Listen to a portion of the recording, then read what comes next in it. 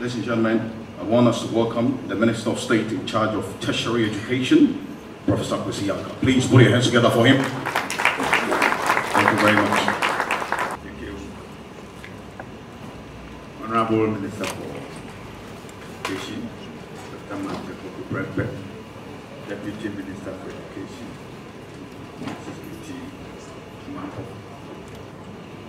NCTE Executive Secretary, Executive Secretary for NAB, the National Accreditation Board, members of respective university and tertiary education councils here represented, representatives of um, several agencies, the Ministry of Education here, Vice Chancellors Ghana, amply represented, and other representatives and officials in government and in the private sector, stakeholders. Let me add my voice to the words of welcome already extended to you by the moderator, and also to say that this forum is a very important one that has been long anticipated. Um, it adds to the several fora that have been organized by the ministry in connection with this particular document that is going to be outdoored. The document operation started as far back as last year. Uh, the committee chaired by Professor Tagoe were charged to come out with a policy document that was all embracing and that took into consideration the pre-existing legislation policies already in place and update these policies in the light of recent events. After the document was submitted to the ministry, the ministry did yet another stakeholder workshop. Remember, the document itself was written having consulted several stakeholders, including the Vice Chancellors of Ghana, administrators, and heads of public institutions and private institutions. Then the document was subjected to a workshop forum by the same stakeholders. It was after the workshop forum that the write-up was again revisited and then submitted to the minister who in turn submitted this to cabinet for consideration. And this is yet another forum, post-document, post-approval forum, sort of. And uh, to talk about this and to set the ball rolling with the Minister for Education himself, whom I invite to take over from me, uh, do part of the presentation to be followed up by a continuation of that presentation by the Executive Secretary of the NCT, National Council for Tertiary Education. Ladies and gentlemen, Dr. Matthew Opoku Prempeh comes. Thank you. Good morning, invited guests.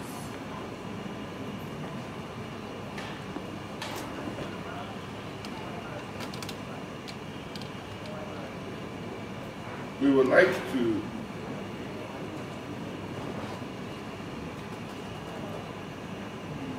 share with distinguished guests the thrust of government policy on tertiary education.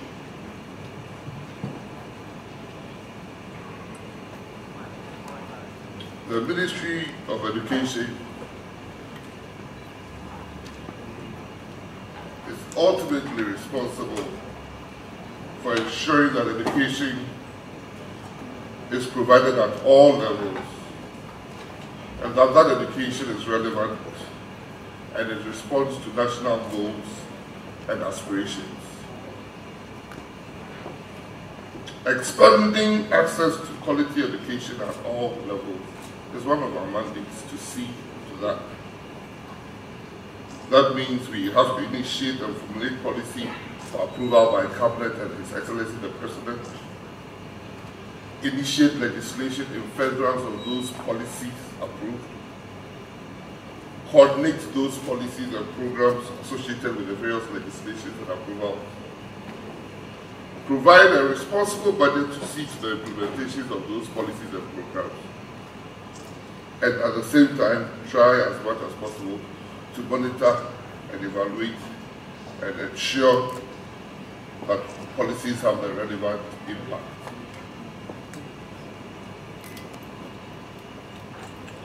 As far back as 20th February 2017, just after we finished the transition, issues emanating from the transition had set this up or brought forth what government should do on tertiary education to make it more relevant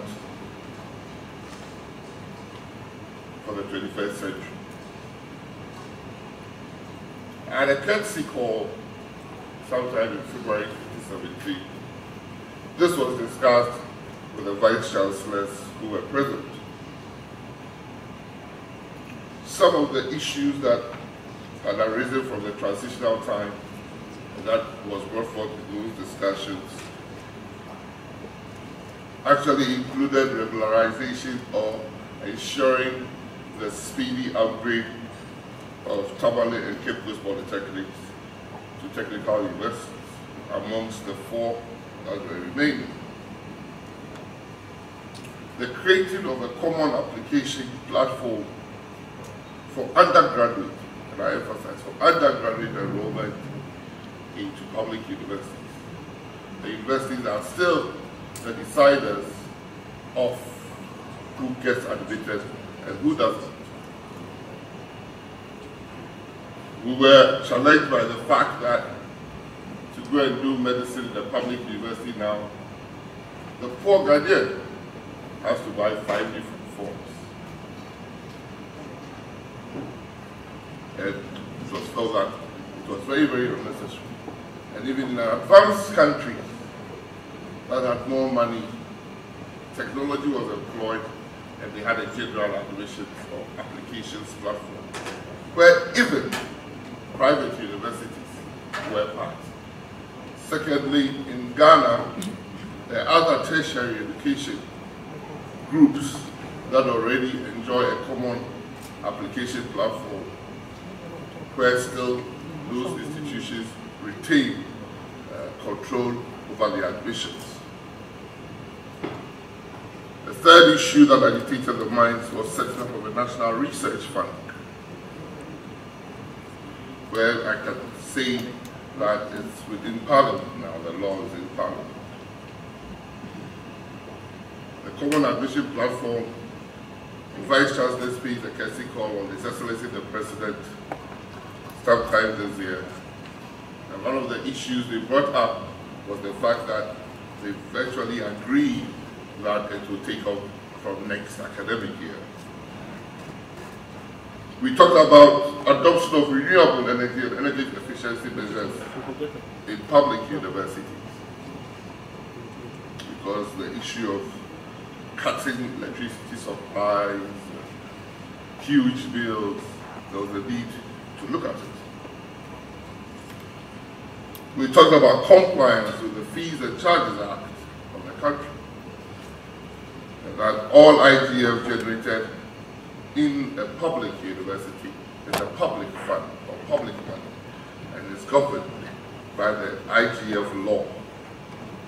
And amongst them, the IGF law states those institutions and the amount of the IGF or percentage of IGF those institutions can retain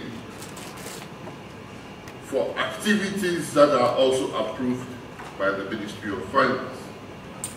So if you are allowed to retain 100% of your IGF, that is half of the issue.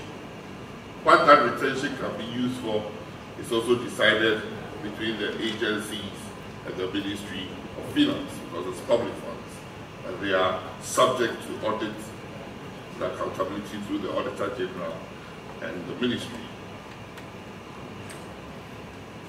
Actually, we talked about outsourcing of non-core activities by the university, including halls of residence.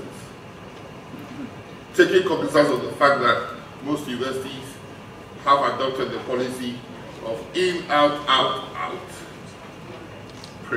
Meaning probably 75% of the student population live outside the confines or the purview of the university, we felt that probably, probably we need to look at the core activities and non-core activities that the university management should concentrate on. Just one of the last items, or the last item we discussed, is working towards one act for the universities. The foundation of this, uh, in this country called Ghana, in 2012, under His Excellency the President, John Ifan Atabills, all the 38 colleges of education were brought under one act. Under His Excellency John Dramani Mahama, in 2016, all the technical polytechnics and the technical universities were brought under one act. It does not obviate that university's mandate, but 98% or 95% of uh, any university's law is the same as others. It's only probably the first five, six clauses that limit or outlines the functions and the mandate of the council and the university that is different from each other. These, alongside other issues, were subsequently raised in a letter that I sent to the regulator, National Council for Tertiary Education, to expedite work on these issues.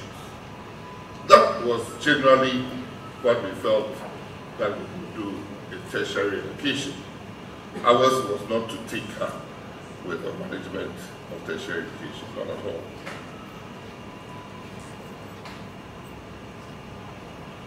We also recognize that in this country, Ghana, there is no document called the tertiary education policy. There's not a single source document that you take and open and see the trust of government on tertiary education policy. That itself must be revised uh, periodically. Better governed or better countries have it, and there was a need to start something. This culminated in May 2018 when the Minister of State after assumption of office, I gave him a copy of that letter and told him that by, by and large, that is the thing, this is the policy direction we have for tertiary education. He should receive it as marching orders and run with it. Because then we have a Minister of State that has risen to the Pro-Vice Chancellor of a public university and had become the vice chancellor of a private university. So if there's anybody who could um, work with the professors and the dons at the universities, it's probably him.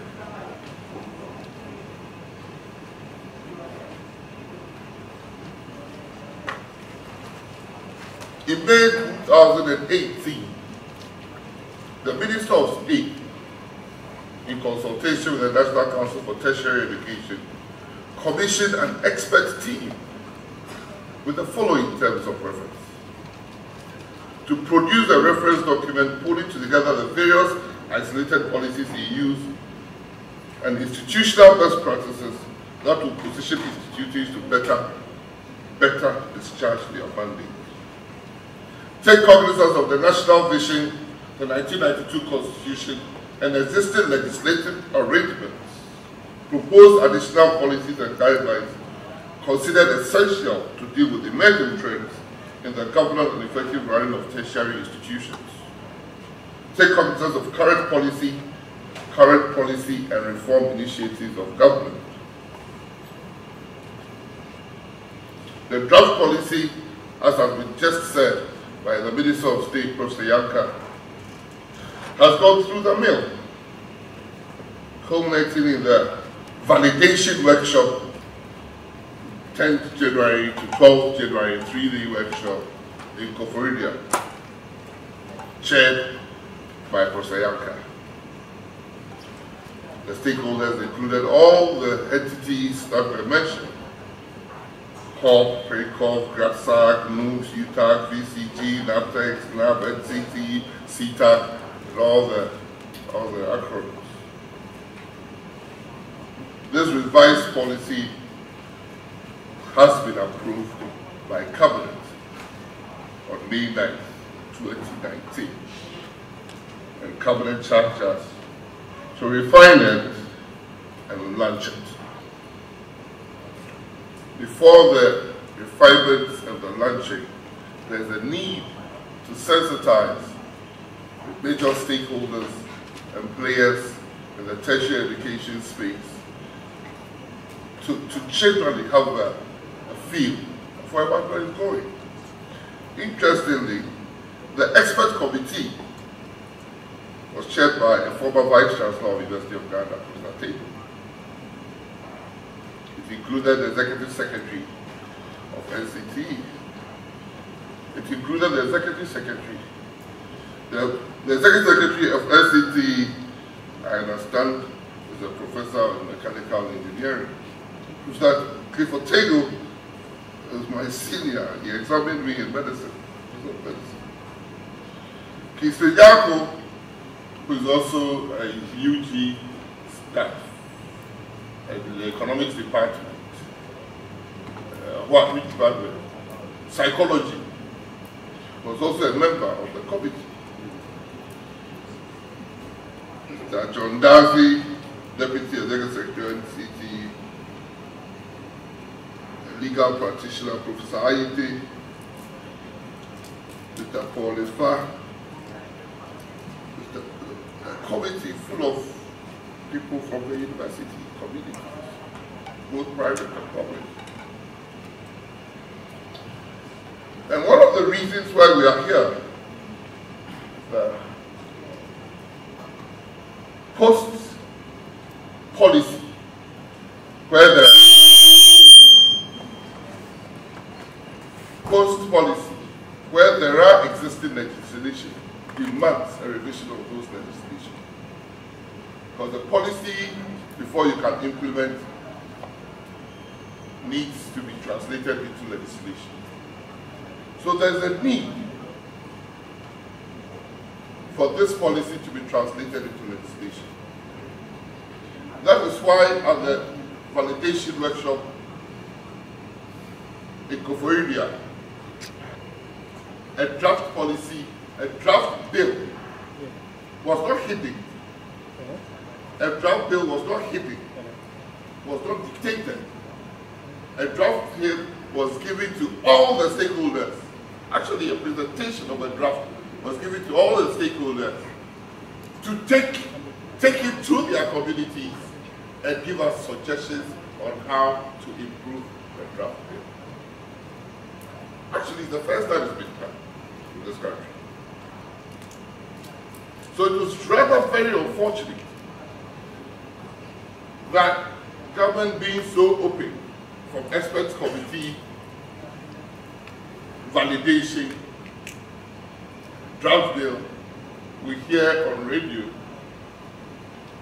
if, if it was just criticism, that was part of the suggestions we needed. But Outright insults. Policy approved. One of my marching orders is to do a sensitization and awareness workshop Interesting, interesting. Most stakeholders have brought suggestions on how to improve the bill. There's absolutely no need for persons to take particular interest in insults. Right? We never expected, government never expected that from a tertiary education space. That an engagement, so frontal an engagement can degenerate. We have to keep quiet because we still have to get policy through and deal with the issues. Ours is supposed to respond to everybody who comes up the airwaves. There are about 300 stations in Ghana. And if the ministry says they are going to every radio station uh, to report, uh, we can never do our work. Ours is to concentrate, concentrate on our work and charge the path. We just want to demonstrate that this is not something that has been just picked out of the pocket and thrown. We've looked at international best practices. And I have with me, I have with me examples of 10 countries, very, very democratic, extremely democratic, some even more democratic than ours. 10 countries. That, when I did the research, I came, there are very many, actually there are many more countries. But the 10 I, that was interesting that I came across that have one university. I've already said in Ghana, we have one act for 46 colleges of education, which are all tertiary. We have one act for 10 technical universities, which are all tertiary. But I looked at Norway, and they had one act for all their universities. I looked at South Africa, and they had one act for all their universities. I looked at Denmark, and they had one act for all their universities. I looked at Kenya, and they had one act. I actually recently met the chief director who started the Kenyan act. I wanted him to come and speak at this forum. They have one act, and that act in Kenya includes even both public and private universities. I checked Malaysia, and they had one act. I went to Singapore, and they had one act. I went to Finland, and they had one act. I went to Zimbabwe, and they had one act. I went to Sweden, and there are 10 countries that almost every month you see on the WhatsApp platform, Ghana education, go and learn from Finland. Ghana education, go and learn from Singapore. Now we go and learn and we are tempted and we are insulted. We have ample opportunity to contribute to legislation to make it better, but not to stop legislation because it's impossible. I remember when the University of Ghana was passing this last legislation, I was in Parliament as an opposition MP. And I held that legislation down for some time. Interesting. I held that legislation down for some time because I felt there was a clause in that legislation that would be used, interesting, we had a debate on the floor, that would be used to prevent private citizens or public from entering Legon. I have a hunch. One clause. I argued and held and held. And one of my colleagues from the government side, he said, I assure you that this will never happen. So I let go. A few months after the passage of the University of Ghana legislation, it happened. And I heard national security. Instead of jaw joining, on two occasions came to break down Legon erecting the gate. But that antecedent had been set in the law.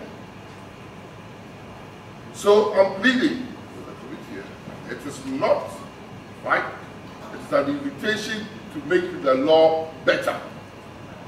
As to countries that we want legislation means government is going to be taking this, the president has assured all the vice chancellors that he was the attorney general that took criminal libel off the books.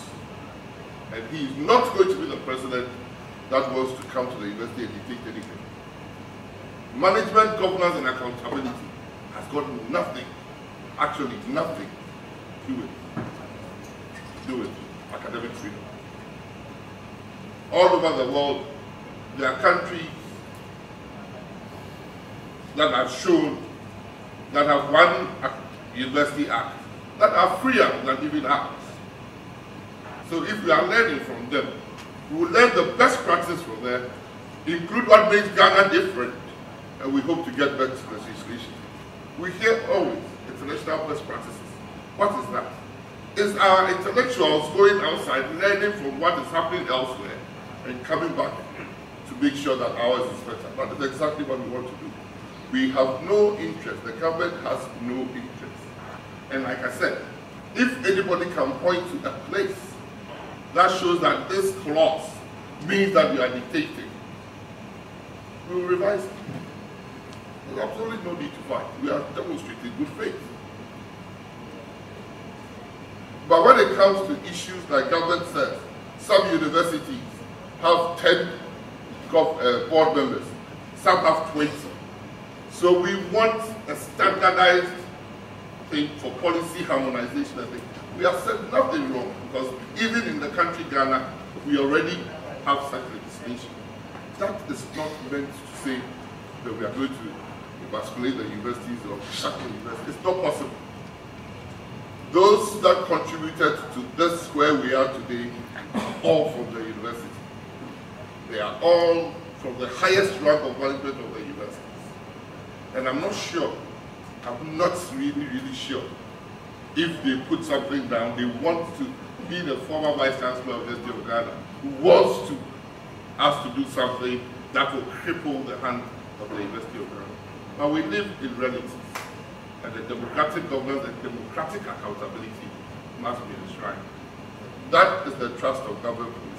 Nothing to do with dictation, nothing to do with interference, and it's got nothing, absolutely nothing, but to tell the universities how to behave. On that note, I would like the Salifu to take us through and sensitize and make us aware about the tertiary education policy, the legislative and institutional reform implications of the policy, and possibly, if he can do that in 30 minutes, we will, we will highlight certain things about the draft bill. But the draft university bill has received extensive stakeholder response that we are, we are computing and compiling and making sure that it reflects sufficiently where good in the bill. But I'll give an example. All my university lecturers I've met, all my professors I've met, all the acts that I've met, council, external council, or the supervisory council the has more external members. Actually, interestingly, I got a response from University of Ghana that said in writing that they want more internal members than external members or something to that effect. But I looked at their law, University of Ghana's law that exists, that we passed in 2010. And interestingly, they had more external members than internal members. But they wrote to me that they want more external than external. But their law that exists was different. They had more external than internal. So that is not to say we have, we have come to the university and dictated to the university what they are doing. And like Mr. Solution to share with us the trust of government policy approved by Cabinet on May 9 for tertiary education. So we will look at some uh, salient points arising out of the tertiary education policy document. And then secondly, uh, we would want to take this opportunity to provide a certain rationale for the draft public universities bill. Uh, Minister has uh, uh, you know, talked to some of the points that have come across uh, on this particular bill. Actually, at this stage, of consideration of the bill, uh, it ought not to have been in the public domain at this stage. And what we are looking for is inputs into the zero draft, if you like. The zero draft is what was circulated. We sought stakeholder input so that we can produce a document that we can call a working draft, working draft and it is the working draft that then will take through the process of consideration and approval. So we don't even have that working draft as we sit here today. The objective was to get the input on the zero draft uh, so that we can see how we incorporate the comments and then based on the refined version we have what we call the working draft uh, to carry that forward. Unfortunately, uh, the matter ended up in the media domain, and uh, you know a lot has happened. A lot of water has passed under the bridge. And I think one of the key points that have been raised most often was that uh, it wasn't even understood exactly why we were doing that. So I will try and provide a certain uh, rationale for doing the bill itself. I think minister has done that, but there are some provisions that people found a little problematic. Uh, we will pick one or two of those positions and try and explain what informed that. Um, the national education policy document itself um, it's a very bulky document. It's almost about uh, what 80 page document. So I cannot, uh, at a forum like this, you know, go from cover to cover to let you understand what is in there. Uh, I can only pick, as I said, highlights from that. And uh, the highlights will just uh, indicate in each one of the thematic areas that the policy has been approved, uh, what the think are needed and then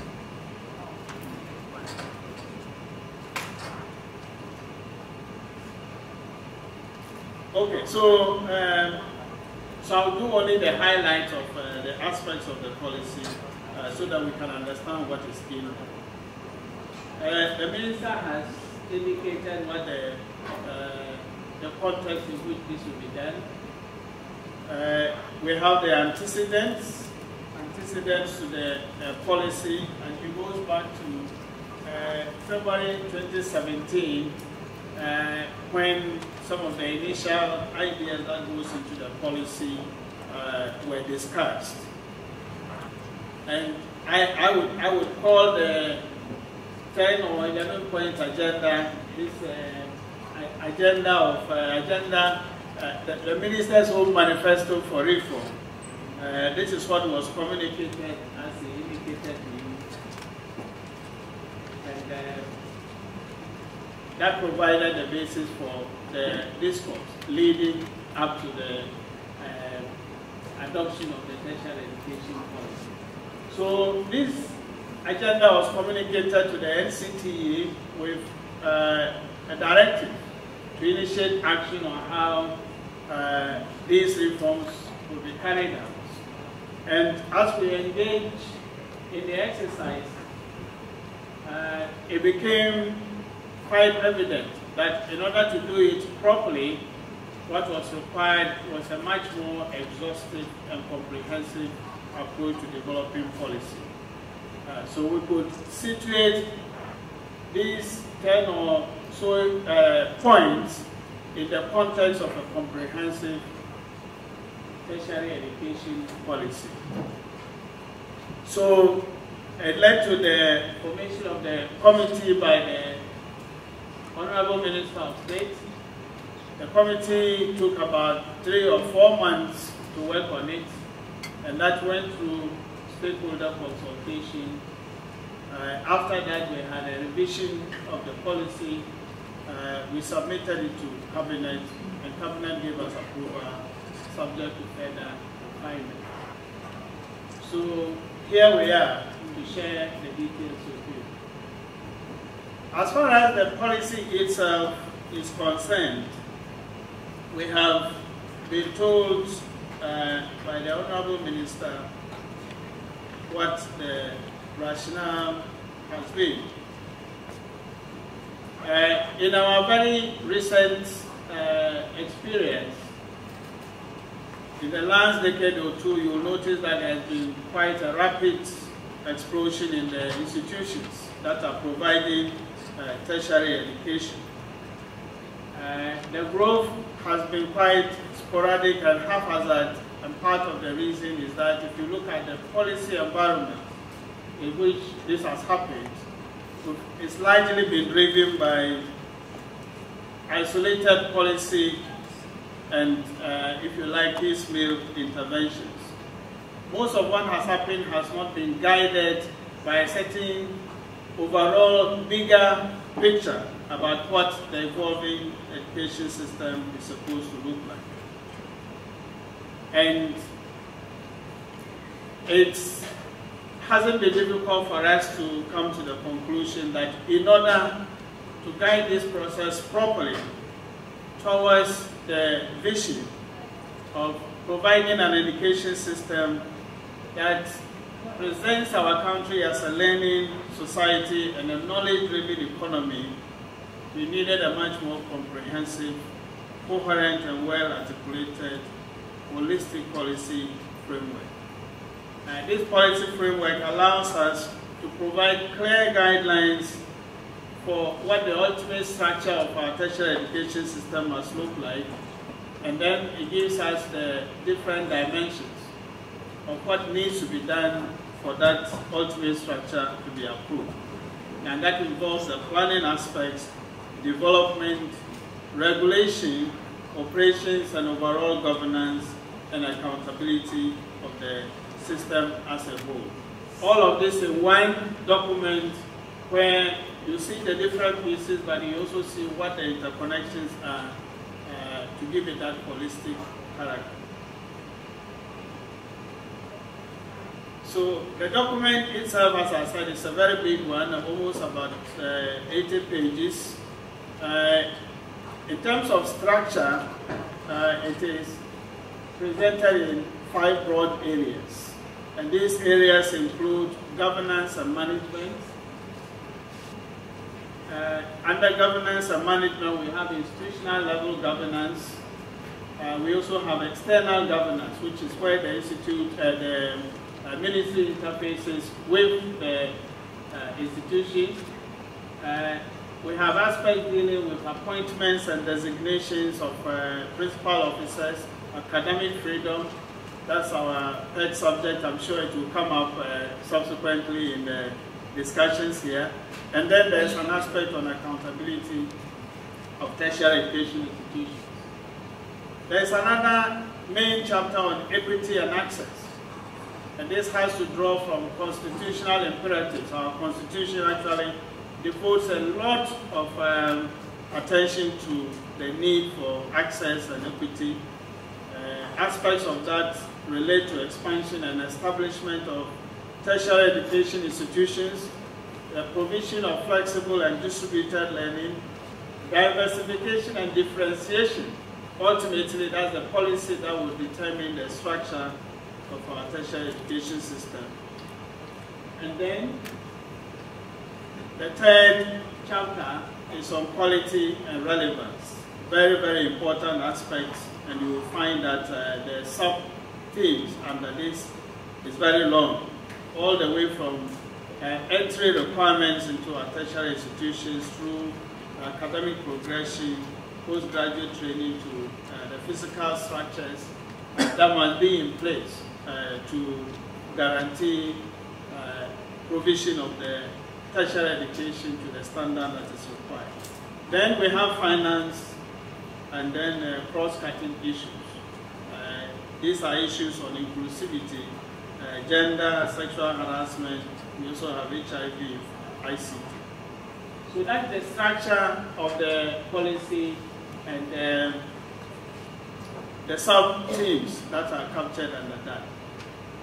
As I said, I will just pick a few of the items in it so that you can appreciate what is there. So, on policies uh, on governance and management, uh, the first sub-item is on coordination of the tertiary education system. There has to be an overall in charge that looks at the entire landscape like the uh, conductor of an orchestra uh, to ensure that everybody is in place, they are playing to the right tune, they are standing at the right place, and then contributing to the harmonious tune that the uh, orchestra is supposed to generate. Coordination and oversight, very important. The policy statement. Uh, number one, the Ministry of Education shall have general policy formulation and monitoring functions over the system. That is at the overall level. And the regulator, there shall be an apex regulatory body whose responsibility shall include general supervision and direction for all tertiary education institutions. That is at the external uh, governance uh, level. In terms of institutional level governance, it's important to state that the structure of governance within the institution recognizes what is called the bicameral system. And the recognition arises from their understanding that as far as the broad strategic issues are concerned, you will need a council that will take the strategic policy-related decisions, but internally there are structures that are so provided to ensure that every segment of the investor community contributes uh, uh, effectively to eventually the strategic decisions that are made at council. Uh, so in order to ensure effectiveness of this institution level, uh, institutional level governance, there are policy statements that uh, have been uh, listed. The Ministry of Education shall ensure that the acts of governing public universities are harmonized to ensure consistency and enhance operational effectiveness and efficiency. If these are public institutions of the same generic type, providing a certain service with similar expectations, you want to make sure that their structure and operations are consistent, they provide a certain level of predictability, and makes it easy for the governance and the control mechanisms to work. The second one is government working through the regulator uh, to set out desirable qualifications for members of council. And because we tend to have a stakeholder council, these desirable qualifications need to be shared with these constituent uh, uh, bodies so that in nominating their representatives, they will be guided by that. Membership of the councils and boards of public tertiary institutions shall not be less than nine number, but not more than 30. And the rationale, you will see that this is quite a significant departure from what our recent legislation has provided. The rationale here is to have a compact board that is agile in decision making and that leverages the advantages of this bicameral system I was talking about. Essentially, you are seeking to have a much more lay board where you have more external members of the council focusing on the strategic decision making. Even though the numbers of the core board members is being limited to between 9 and 13, the councils themselves will be uh, mandated and there's a, a, policy statement to that effect that the council shall have the power to co-opt additional members from outside the institution by such co-opted members uh, so done will be non-voting uh, in status. Which means that if you have a certain issue that you need to discuss and you need expertise from outside the council, uh, you can do that and expand the membership accordingly. And then the provision also is that we should have at least two-thirds of the members of council being external members. So we don't have, uh, we don't want more than a third to be coming from within, and that is staff and students. This is what the essence of the lay board is. Appointments and designations, appointments and designations of principal officers. Uh, we've had quite some diversity in how this is handled. Some of it errors in the legislation, some also institutional practices that have influenced that. So the concept has become a little confused when it should be quite upright. Uh, principal officers are officers who by designation and in their capacity can commit a university. And the policy says this designation of principal officers shall apply only to the chancellor, the pro-chancellor or the council chairman and the vice chancellor, period. That is the list of principal officers. Everybody else will come by their names and designations, but there will be some other uh, officers, not principal officers. The vice chancellor and other officers in the institution, and I underline in the institution because this is something that is used in the clause that we are referring to shall be appointed by the Governing Council in accordance with Article 1953 of the 1992 Constitution. The Chancellor shall be appointed by the President following a recommendation made by the Council And only chartered universities shall have chancellors. We have university colleges and all shapes and sizes of uh, tertiary institutions that purport uh, to uh, have chancellors and uh, that is actually contrary to what uh, the practice must be. Policies on academic culture. Uh, use of academic titles. This is another area that has been abused. And uh, my colleague at NAB has had several occasions, and uh, I believe the Minister of State to speak about it. We are making policy statements to reflect that. Tertiary institutions shall enact statutes on the award and conditions of use of, for academic titles, including honorary degrees. Appointment of emeritus or emerita professor must be based on merit, must be based on statutes, and granted only by the university from which the person retired as a full professor. And once again, only chartered institutions or universities may award honorary degrees or appoint emeritus professors.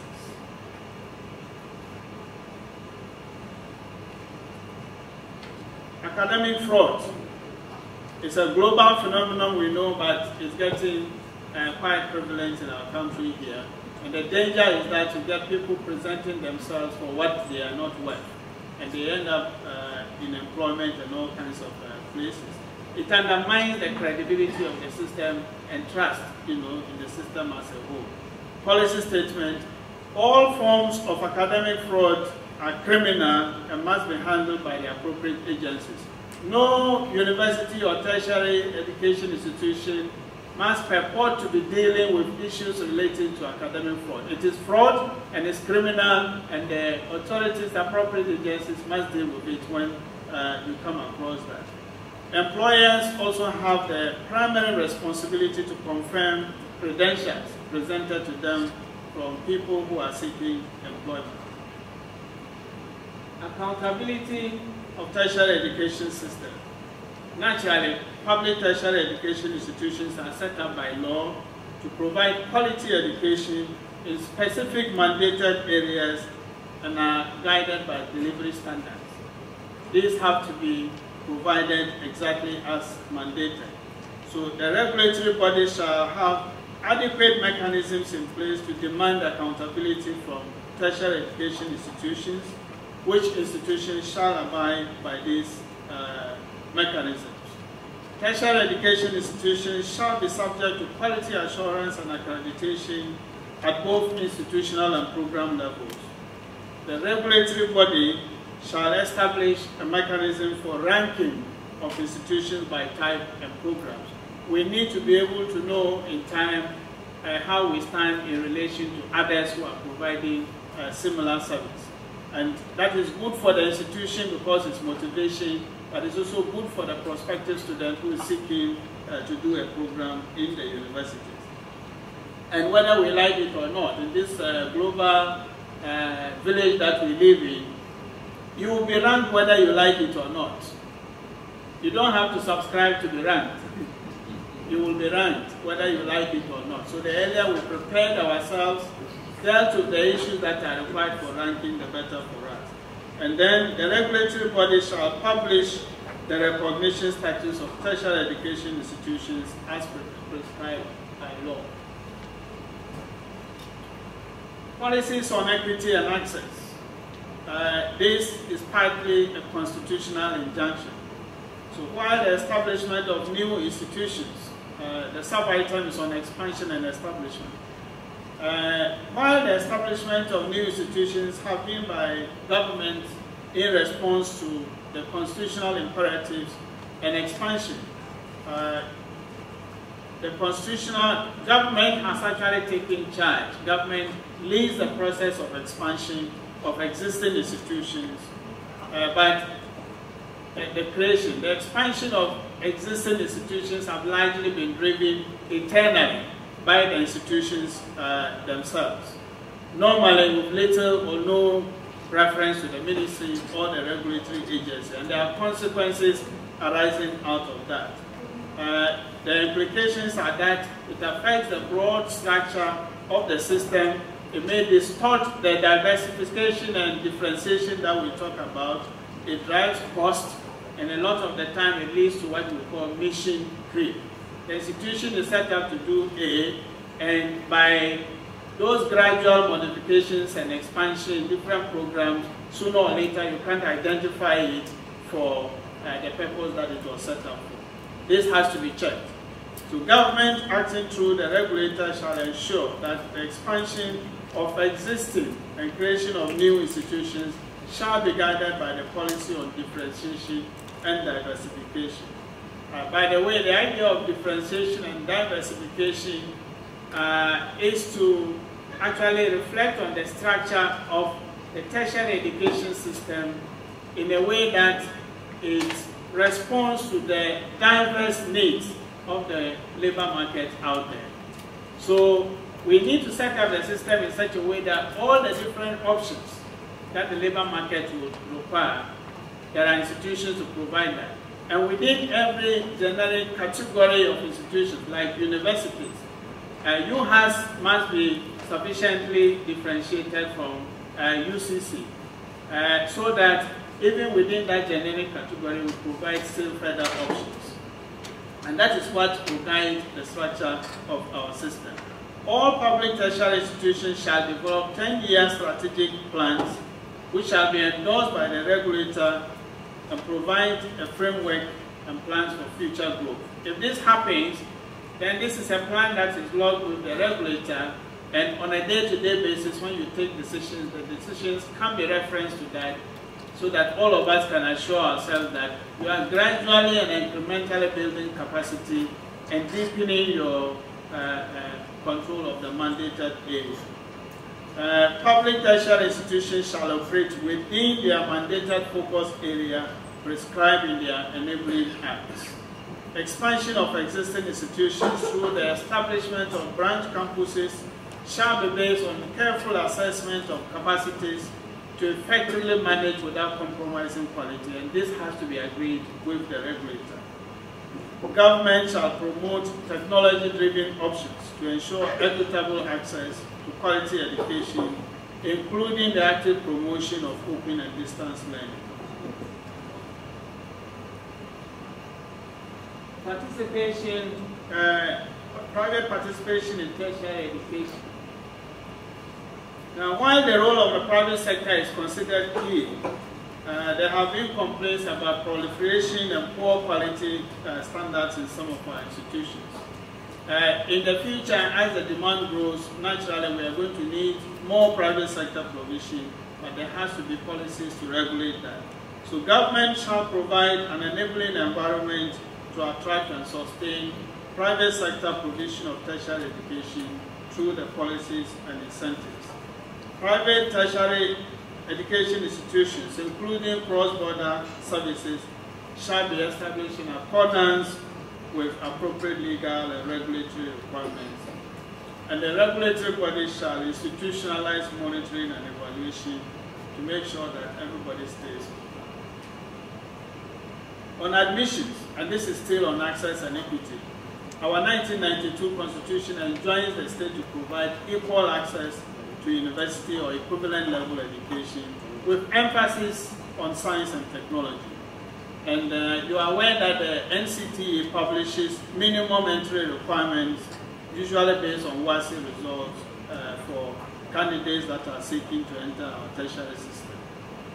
Currently, these admissions are decentralized, but they are not always driven by some of the constitutional imperatives in terms of access, equity, inclusion, and all that. So the policy statements seek to address this all students seeking admission to tertiary education institutions must meet minimum entry requirements. Under no circumstance should somebody be admitted to tertiary education institutions when they haven't met the entry requirements approved by the regulator. Qualified candidates shall, as much as possible, be placed on merit, except under special circumstances when addressing equity and inclusion concerns and this is the big one, there shall be a centralized applications and placement service for public universities. Private tertiary institutions shall be encouraged to enlist on this service. And as Minister underscored here, it is an applications platform. That's all that it is. But it's sanitizing the diversity of uh, approaches that we have used uh, in the past until now, and uh, it also makes the application process much, much easier for prospective applicants. Uh, it provides a repository for you know, data, very important data on attributes of applicants, matriculation, numbers, preferences of programs that we can immediately access live to inform uh, policy going forward. So it's a very important platform and uh, as it did indicate, uh, the next academic year, obviously the uh, admissions are virtually underway, but uh, there has been work on this and I'll touch on that briefly as we go.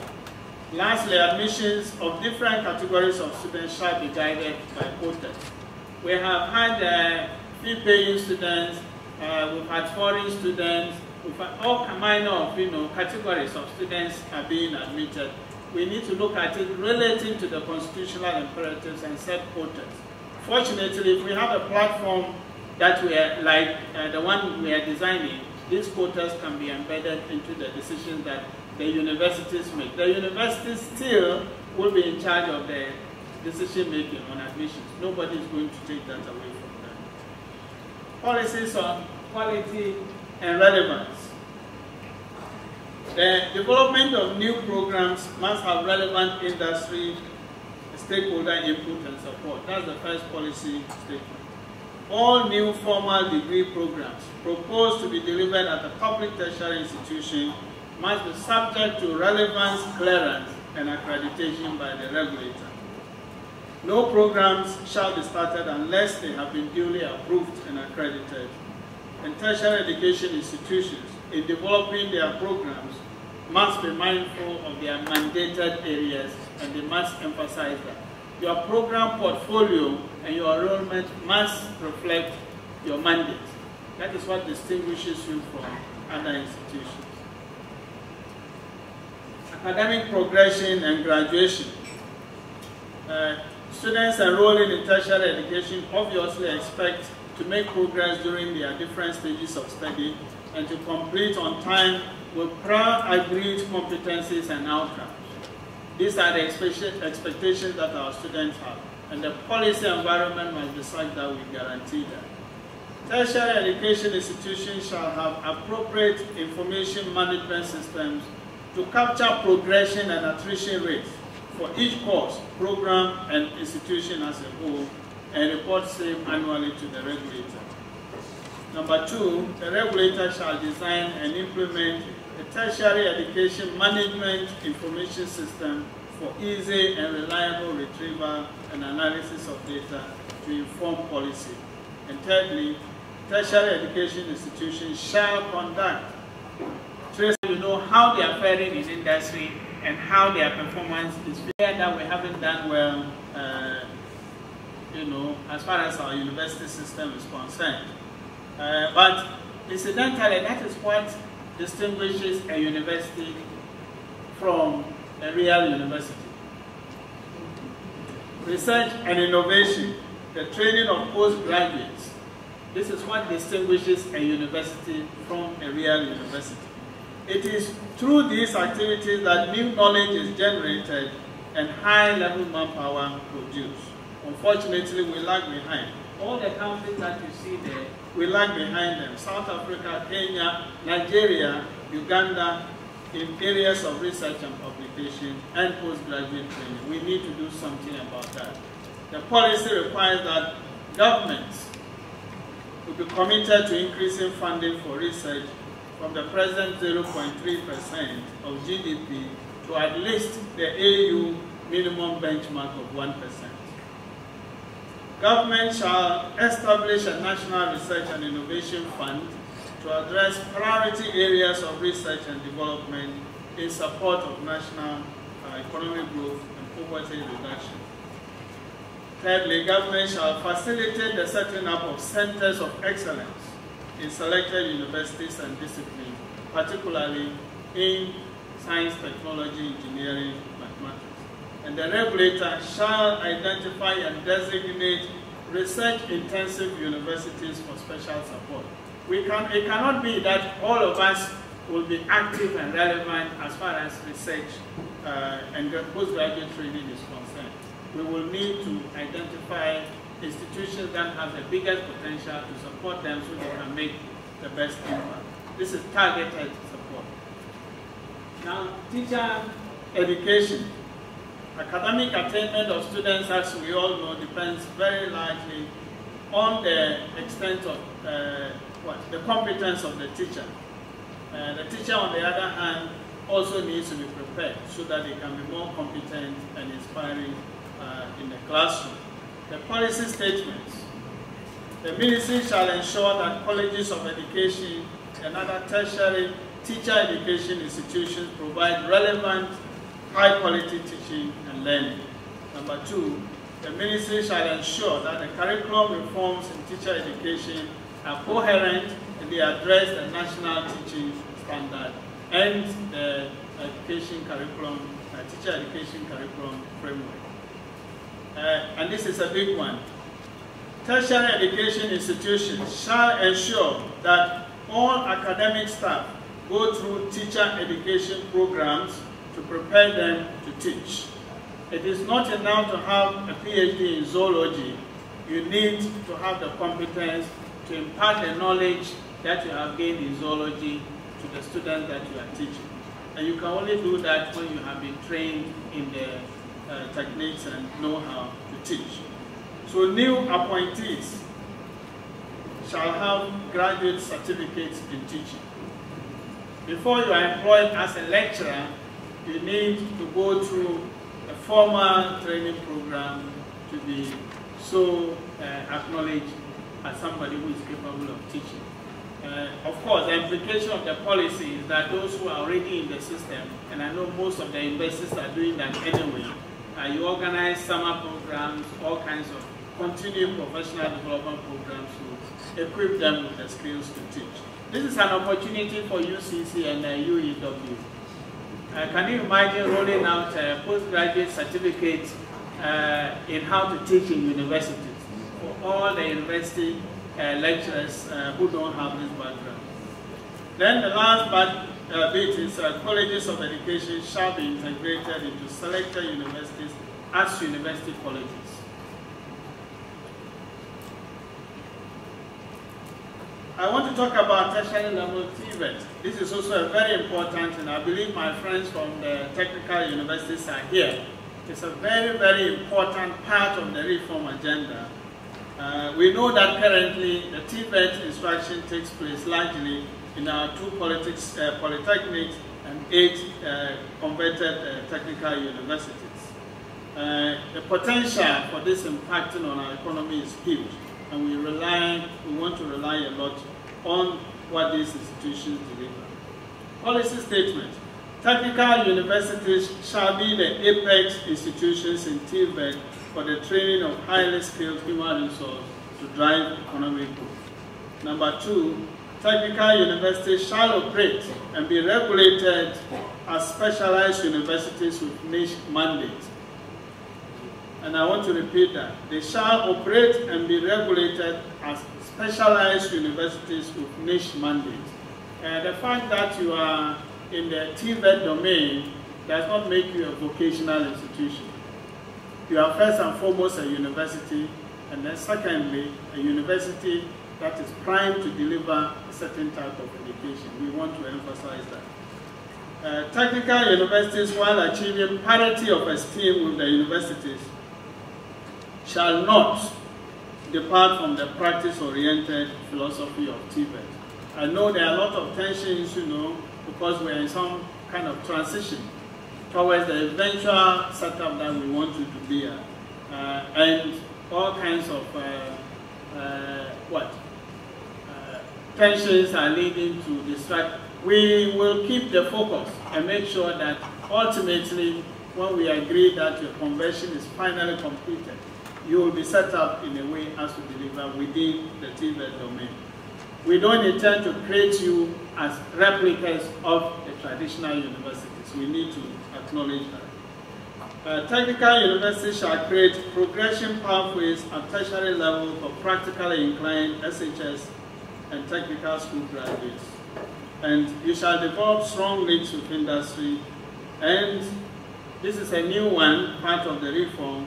There shall be a university that is specialized in the training of teachers for all levels of TVET. In fact, uh, I don't know if the Honorable Minister uh, would allow me to say that. Already there's a proposal to bring together about eight or ten or so of the colleges of education that are in areas that are in TVET. Uh, to bring them up together with uh, Chairman, I'm sorry to say that, that's UEW Council Chairman. We are going to take away the Kumasi campus of UEW, the Mampong campus of UEW, and then together with the colleges of education, set up the nucleus for this specialized university that uh, uh, the policy advocates. Policies on financing. Uh, VCD, I'm sure, will be looking forward to this, like everybody else.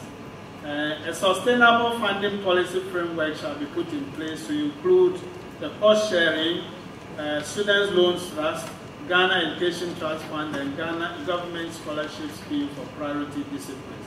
This is the uh, what the complex of uh, measures, interventions that will provide a framework for financing.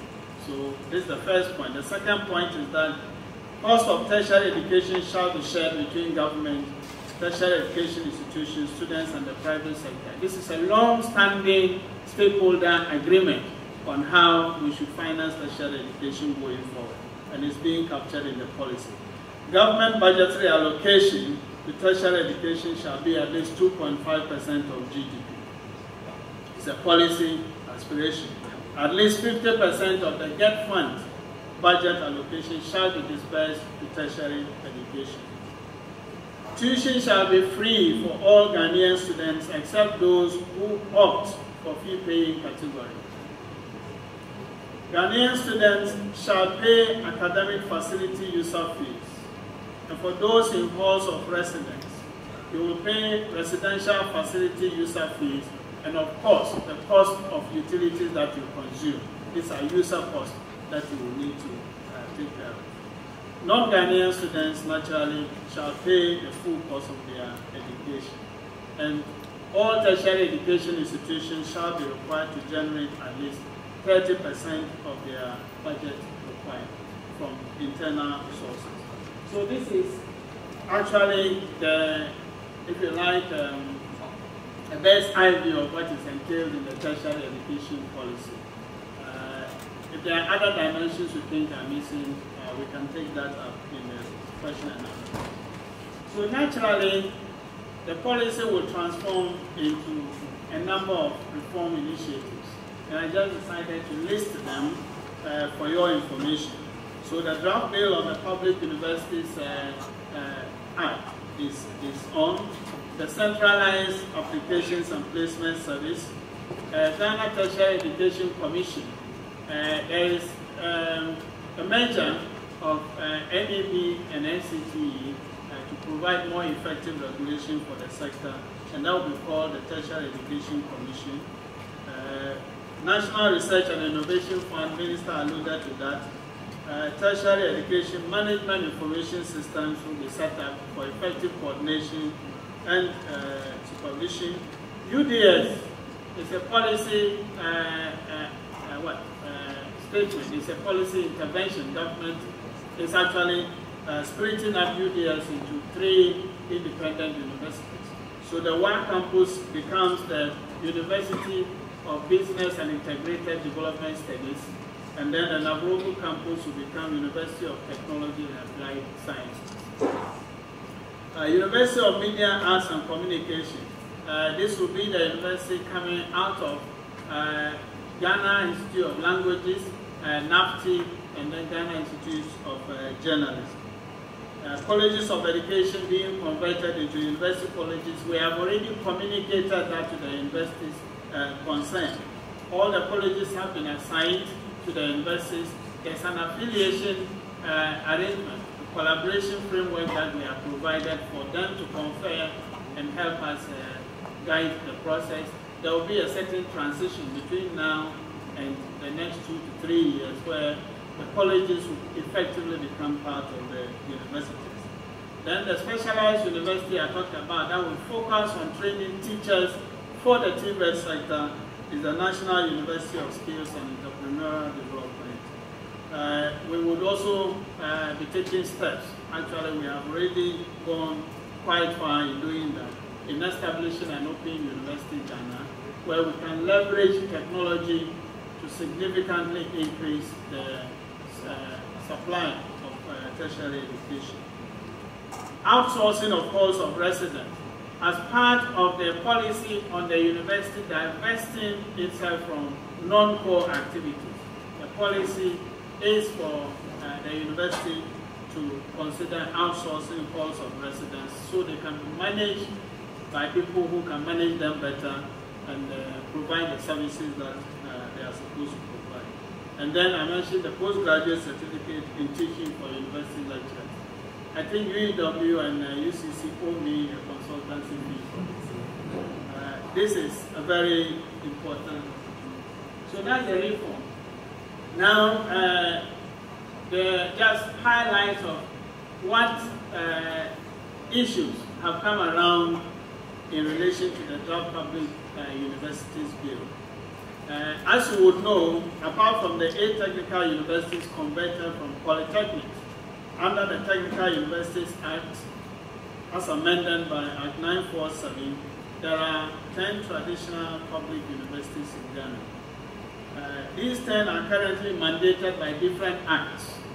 KNUST, uh, under PNDC Law 240, amended Act 559 of 1998, uh, UCC UDS have PNDC uh, what roots. As we sit here today, if you wanted to constitute their council, you will need to find somebody to nominate a representative of the committees for the defense of the revolution.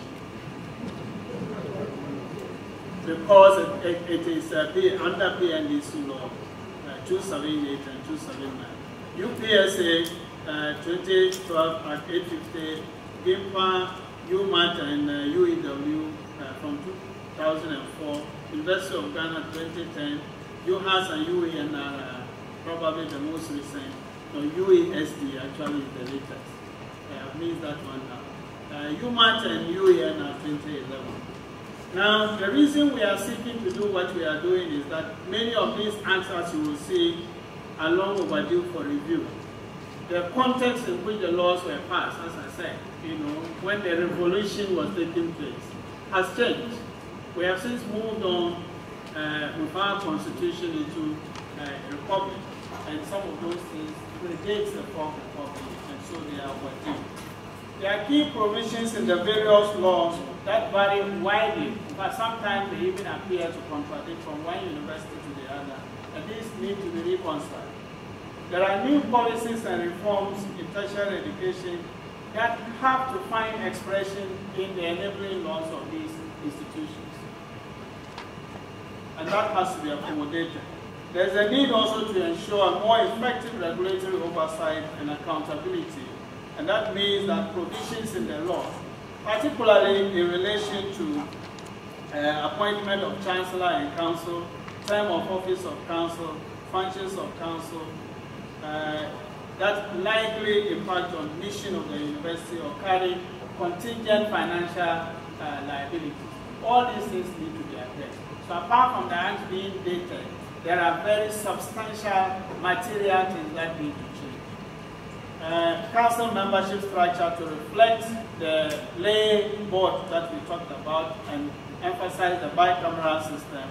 Need to harmonize provisions to ensure consistency and predictability in governance across the public uh, universities.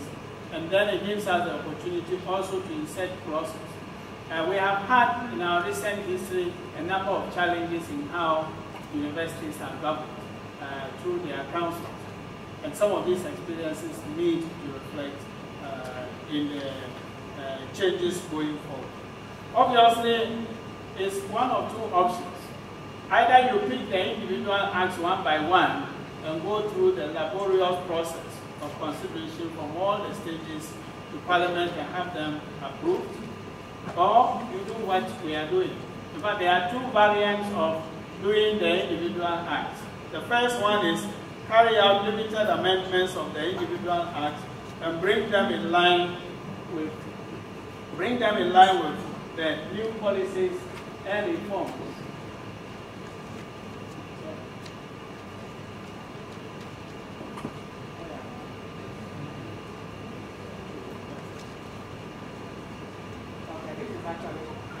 Yeah, so the first one is to carry out limited amendments of the individual acts and bring them in line with some new policies and reforms, but preserve the so-called autonomous structure and functions of council. That's one option. The second option would be to amend the individual act. It's a variant of looking at the individual acts and bring them in line with the new policies and reforms and to provide for more effective regulating oversight. The second option would have been more comprehensive in trying to deal with the issues that the combined bill would deal with. Okay, the first one would be retaining certain provisions in the individual acts which people feel emotionally attached to. Either way, if you know the process by which a bill eventually gets passed into law, you will appreciate that this will be a counterproductive effort. It will uh, be an extremely laborious effort time wasting, and at the end of the day, we may not be able to achieve the objectives that we set out to. But it, gives, it would have given some comfort for those who are uh, saying that one act is making the investors look the same. I believe the minister's examples have actually demonstrated that. by no means, the one act for all universities, in fact, many jurisdictions you have what is called a higher education act. It's not just the universities, it is the regulatory bodies within the sector who are also captured under that one act. And it doesn't make them the same. Each individual university has its own mandate and they operate as such. Uh, we have Polytechnics Act. Uh, it didn't make Tamale Poly the same as Accra Poly. Uh, we've Technical Universities Act. Each technical university has a mandated area. In fact, in Uganda and uh, Kenya and all that, they have this similar act, but you hear more about Makerere than some other university. By no means does this thing make you look the same, but at least it will have addressed that point. And uh, there's also the perception that it's a one-size-fits-all. and so if we were dealing with them individually, then uh, perceptively, at least we'll be dealing with them uh, separately. These options were considered, and going forward, based on the best practices, and the effort that would have been required to get this thing done, it wasn't going to be a viable option. So it leaves us with the option of promoting a common public universities act that will incorporate the provisions reflecting new policies and reforms and the requirements for more effective regulatory oversight and accountability. Why do we do the implications arising from this?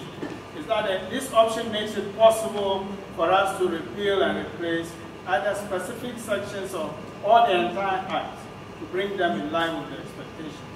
It gives us the opportunity to focus on the broad overarching issues, opportunity to harmonize administrative procedures and infuse predictability.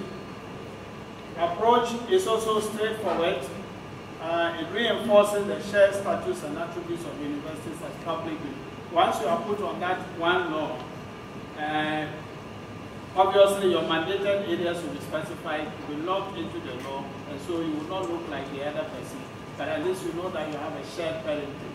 All of you are public universities, and that recognition will be more than clear. And uh, as I said, the same approach has been used for. So, Okay, so this is this is the option alternative. So I'll just briefly go through some of those areas that uh, we've had some Uh, let me emphasize again that uh, Honorable Minister uh, what he said. We have had feedback from a significant, you know, uh, number of institutions.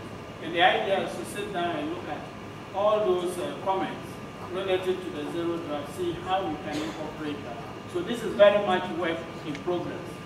Uh, what I'm going to provide here is not necessarily justification, but to give you a sense of what the rationale, the thinking behind some of the provisions that we put in there. So, uh, the first point was on the appointment of uh, the Chancellor.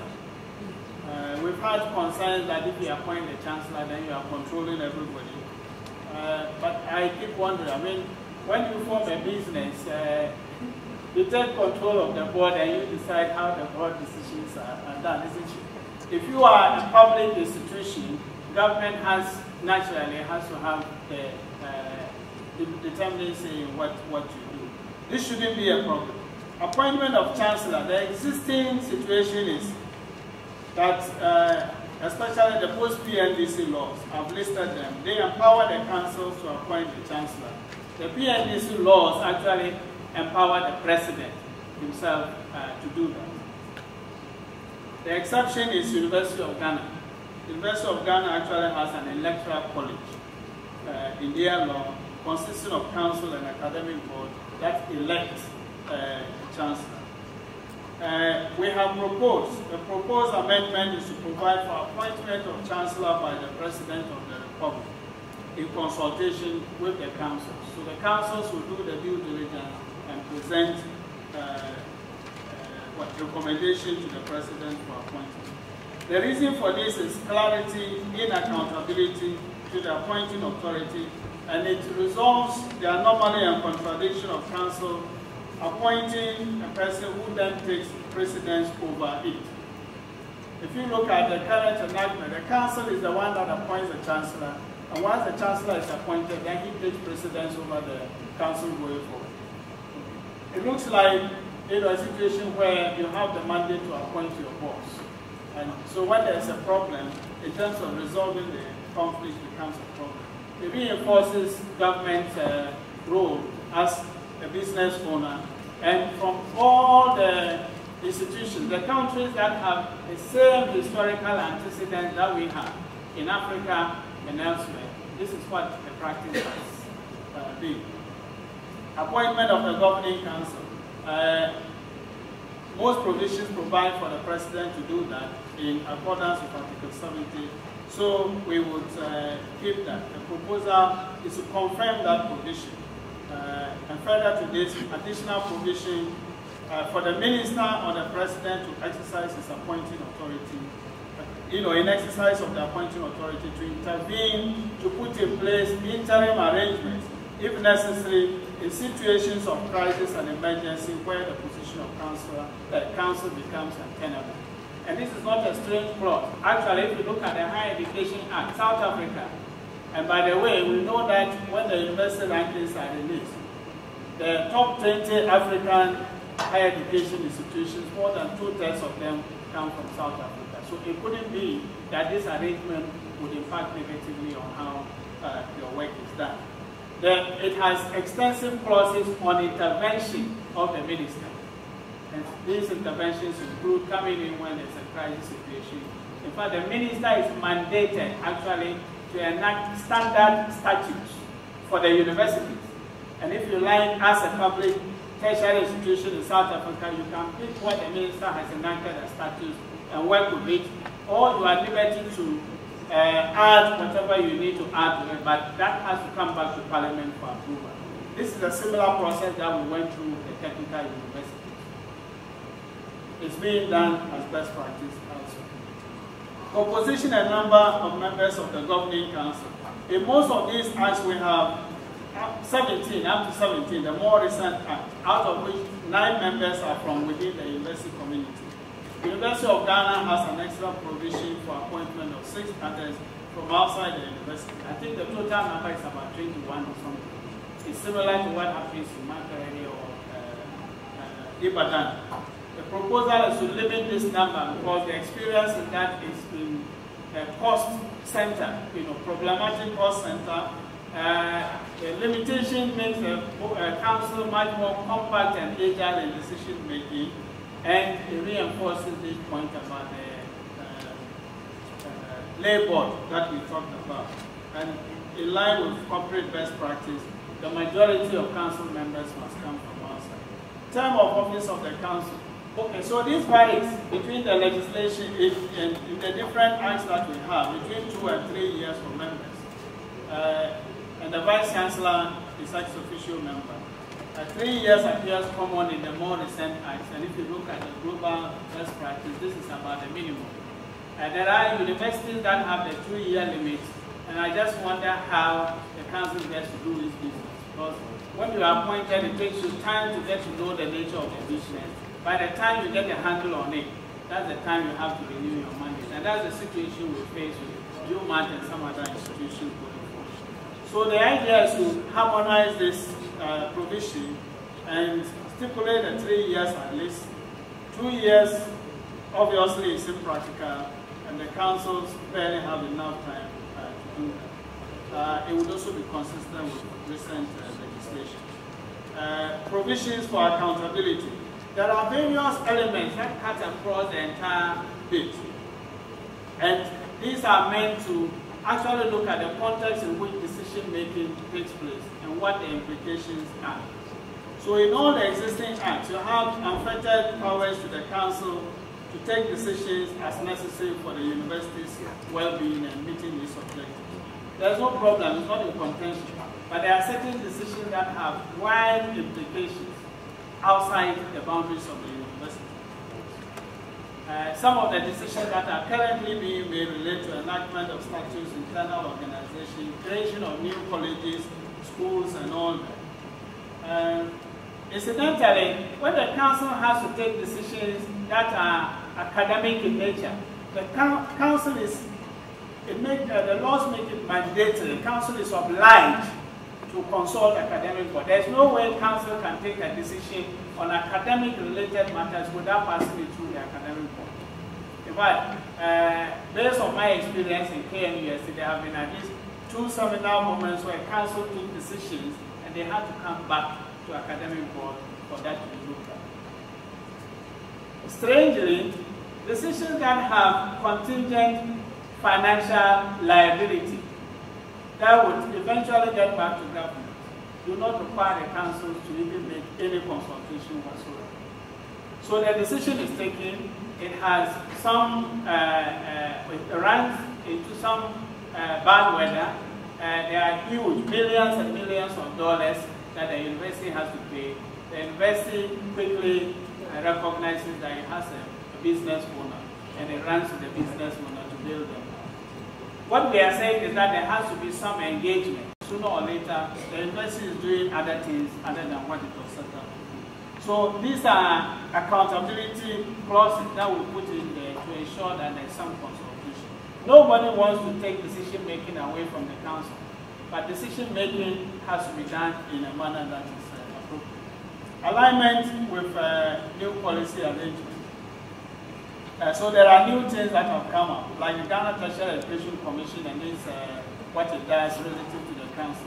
There has to be commensurate provisions in the regulatory bill and in the uh, act of the uh, enabling act of the institution to ensure that that relationship works out well. And then we talked about the caps. Naturally, it has to find reflection. That's how it comes. Thank you very much. Doing a technical audit, a staffing audit, to see those that qualify to be upgraded and those that don't. That staff audit, technical audit has been done. That process is ongoing. And even though you say that government should do it, that process is ongoing. We haven't can stop it. But the number of petitions that have come for those who don't qualify that we should consider, uh, we should sometimes be our brother's keeper. That's all I'll say to that. Let me add a word to um, the issue of caps.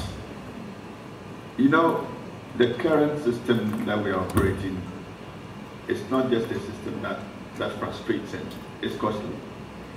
The amount of stress involved alone in visiting as many universities as you can accessing admission forms, applications. Currently, the average cost involved in applying to one university is 200 cedis. And on the average, an applicant would select about three, four universities, a total of 600 to 800 cedis.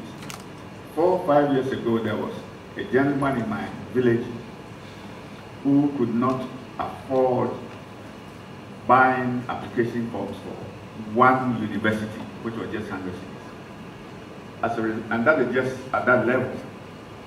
We are not talking about the fees that they have to pay when they are admitted. For that reason alone, that boy had to sit at home for a whole year until I discovered him and uh, found some subsidy for him to enter the university. He's graduating this year. He finished his exams uh, this June and is graduating, most likely going to head for a first class. It's a clear example of this. So for some of us who know what real poverty is, we know the value in providing a mechanism whereby at the cost of 250 cedis only, that's the recommendation for the CAPS. 250. 250 cedis. Yes. That you have access to three or four university choices of your choice, whereas you would have paid uh, about 600 or 800 cedis. But apart from all this, look at the process whereby universities simultaneously admit thousands of students. And Tech admits, Legon admits, Cape Coast admit the same number of students and the same students. It takes a long time, invariably after reopening, maybe third or fourth week of fifth week in the reopening, until you realize that X, Y, Z, whom I admitted hasn't reported, and therefore may have gone to Tech or Cape Coast and Legon and so on and so forth. By that time, he would have blocked the opportunity for another student to enter the university. Now this process, there's absolutely no way there's going to be simultaneous admission.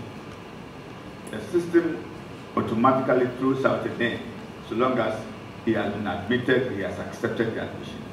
So here we aim at widening access. We are widening access apart from the cost but the very machinery of simultaneous admissions would be no more. But finally, let me say that it was a very sticky issue for uh, vice chancellors accepting the caps, uh, mainly because of the um, sacrifice of uh, revenue. And uh, I think that was the most challenging aspect of the whole thing for them. When we took them through various countries for them to engage with the system there, they realized that in Nigeria, the initiative of introducing the equivalent of caps, what is JAMB, that came from the vice chancellor themselves. They, yes, in spite of uh, what appeared to be a loss of revenue. But having said all this, let me say that there is a formula for sharing the fees that is paid uh, by the applicant. It is not uh, a, a zero hundred situation. Um, 100 going to the machinery for uh, caps, and then zero going to the universities. There is a formula. A fraction of the amount goes to the universities that were selected, a fraction also goes to the university that eventually admits the applicant. So it's not, it's not a, uh, a, a lose, completely loss of revenue to them. Okay. And I believe this is something that they have accepted now because we engage them constantly.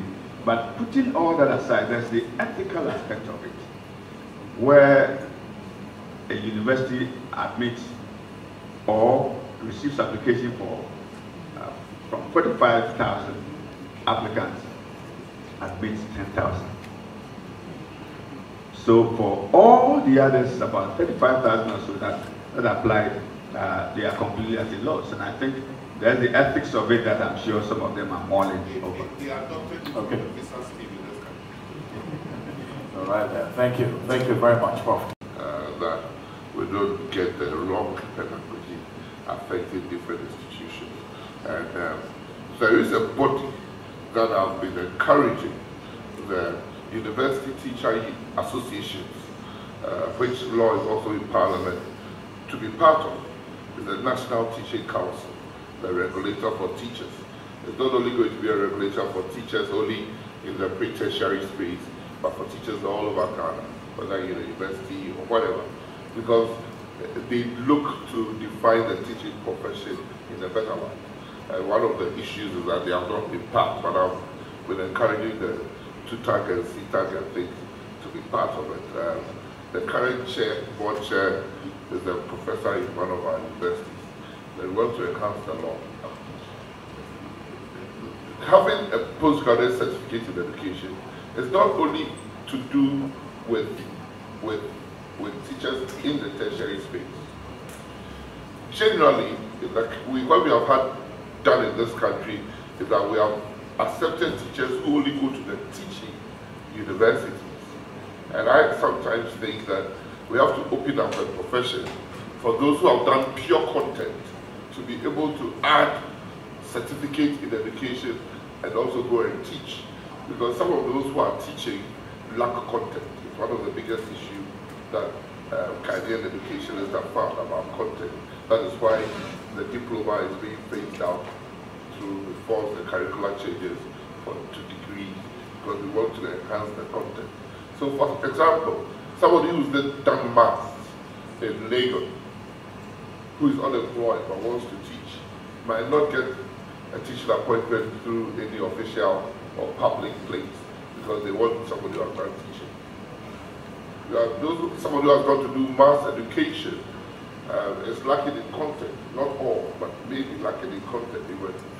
So what we want to do, we want to create another channel that whilst even in doing mass education in Legon or Tech. Uh, tech, you can just take on a certificate in education as a sandwich course and an in-between that some of the uh, capabilities is doing something like that so that you can do it. And when you finish, you qualify to teach. You write the exams as a professional teacher and you are qualified to teach. So to increase the store of teachers that we have and really competent teachers when we were doing A-level, I remember, most of those who were teaching us in uh, vacation classes and things were from tech, those of us who were far away from us. And they were doing biochemistry and chemistry and raw physics and coming to teach us. And I don't think we did bad for where we are now. So we have to encourage the thought that content also uh, uh, uh matters. So yes, we'll be happy. We spoke with, uh, with Lancaster University and they, they are happy. So perhaps I'll start on a lighter note. Um, Minister, you know when you were alluding to the University of Science and Technology, and you mentioned Twi, you were wondering the correlation between science and technology. Your deputy, Gifty, was telling me that they are doing the science and technology part of Twi. so maybe that explains it. But uh, distinguished guests, ladies and gentlemen, I think as has been mentioned uh, already, there have been a lot of ongoing engagements uh, with stakeholders um, about these tertiary education reforms and the emerging issues in the subsector, if may put it that way, are the ones that have necessitated these reforms. Cabinet, as you are aware, has given approval to a set of reforms, and the intention is to legislate a good chunk of them. our task here today has been to engage you further on all of these conversations that have been going on behind the scenes. And for us at the Ministry of Information, we are only pleased to provide a platform for this uh, special forum to take as the process continues, your views will still be welcome and there will still be further engagement. When things go before the, uh, the House, the Subcommittee on Education, etc., people will have the opportunity to send memos um, etc. As the minister said, the idea is to engage, but once we agree on something, uh, to have it fully implemented. I want to just say a few thanks first to all chairpersons of councils of public universities who are invited and will join us here, all vice chancellors of public universities who are here, all chairpersons of um, councils and vice chancellors of technical universities who are here as well chairpersons of councils and principals of colleges of education, all the presidents of the private universities who are here, the unions, UTAG, CTAG, TUTAG, that are all here. We want to say thank you to you. The student bodies that are here as well, we say thanks. Um, we want to say thank you to the National Council for Tertiary Education, uh, the entire team here, especially Professor Salifu uh, and your team. We want to say thank you to you. Representatives from NABPTEX and the National Accreditation Board, we are grateful. Directors at the Ministry of Education, those of you who the minister forces to spend hours beyond your labor hours. I've been speaking to him about it, but we want to say thank you that you are all here. Um, Gifty, Deputy Minister, we're grateful. Professor.